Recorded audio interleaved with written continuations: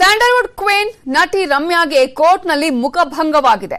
Hostel ಹುಡುಗರು ಚಿತ್ರ ಬಿಡುಗಡೆಗೆ court ಅಸ್ತು ಅಂದಿದೆ.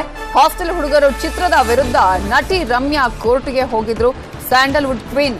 ನಟಿ ರಮ್ಯಾ ಕೋರ್ಟ್ಗೆ ಹೋಗಿದ್ದು ಕಾರಣ ಹಾಸ್ಟೆಲ್ ಹುಡುಗರು ಚಿತ್ರದಲ್ಲಿ ಸೀನ್ ಅನ್ನ ತೆಗಿಬೇಕು ಅಂತ ಹೇಳಿ ಕೋರ್ಟ್ನಲ್ಲಿ ಕೇಸನ್ನ ಹಾಕಿಕೊಂಡಿದ್ರು ನಟಿ ರಮ್ಯಾ. ನಟಿ ರಮ್ಯಾ ನಟಿಸಿದ್ದ ಸೀನ್ ಅನ್ನ ಬಳಸಿಕೊಂಡಿದ್ರು ಹಾಸ್ಟೆಲ್ ಹುಡುಗರು ಚಿತ್ರತಂಡದವರು. ಹಾಸ್ಟೆಲ್ ಹುಡುಗರು ಚಿತ್ರತಂಡದ ಪರ ಈಗ ನ್ಯಾಯಾಲಯ ಆದೇಶವನ್ನ ಹೊರಡಿಸಿದೆ. ಹಾಸ್ಟೆಲ್ ಹುಡುಗರ ಪರ ವಾದವನ್ನ ಮಂಡಿಸಿದ್ರು ಲಾಯರ್ ವೇಲನ್. ನಾಳೆ ಯಾವುದೇ ಅಡೆತಡೆ ಇಲ್ಲದೆ ಹಾಸ್ಟೆಲ್ ಹುಡುಗರು ಸಿನಿಮಾ ರಿಲೀಸ್ ಆಗಲಿದೆ.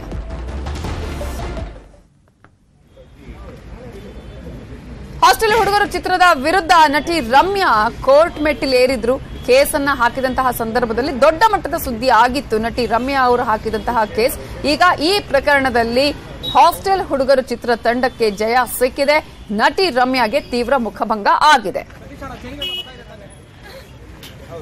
ಇದರ ಬಗ್ಗೆ ಇನ್ನಷ್ಟು ಡೀಟೇಲ್ಸ್ ಕೊಡೋದಕ್ಕೆ ನಮ್ಮ ರಿಪೋರ್ಟರ್ ಸತೀಶ್ ಫೋನ್ ಸಂಪರ್ಕದಲ್ಲಿ ಜಾಯಿನ್ ಆಗಿದ್ದಾರೆ. ಸತೀಶ್ ಹಾಸ್ಟೆಲ್ ಹುಡುಗರು ಚಿತ್ರತಂಡ ಒಂದು ದೊಡ್ಡ ಮಟ್ಟದ ರಿಲೀಫ್ಗೆ ಈಗ ಒಳಗಾಗಿದೆ ಅಂತಾನೆ ಹೇಳಬಹುದು. ಯಾಕಂದ್ರೆ ಪ್ರಮೋಷನ್ ಆಗಿತ್ತು ಸಿನಿಮಾ ರಿಲೀಸ್ ಆಗಬೇಕಾಗಿದ್ದು ಆದ್ರೆ ಇಂತಹ ಕೇಸ್ ಈ ಸಂದರ್ಭದಲ್ಲಿ ಹಾಕಿರೋದು ಒಂದಷ್ಟು ಚರ್ಚೆಗೆ ಕೂಡ ಗ್ರಾಸ ಆಗಿತ್ತು. ಕೋರ್ಟ್ ಕೊಟ್ಟಂತಹ ಆದೇಶ ಏನ್ ಕಾರಣಗಳನ್ನ ಉಲ್ಲೇಖಿಸಿ ಚಿತ್ರವನ್ನ ರಿಲೀಸ್ ಮಾಡೋದಕ್ಕೆ ಕೂಡ ಹೇಳಿದೆ ಕೋರ್ಟ್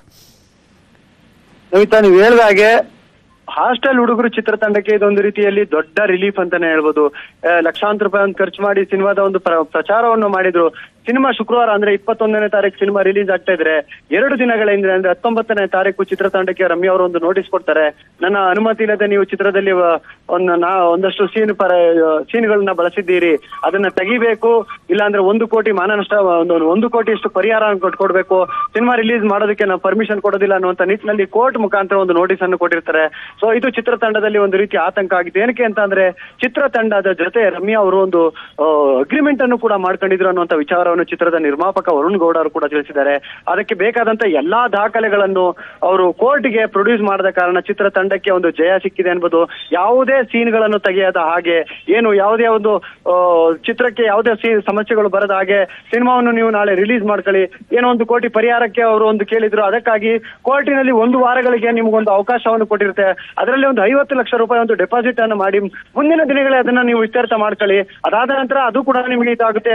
ನಾಳೆ ಯಾವುದೇ ಚಿತ್ರ ಅಡೆ ಬಿಡುಗಡೆಗೆ ಯಾವುದೇ ಅಡೆ ಆಗೋದಿಲ್ಲ.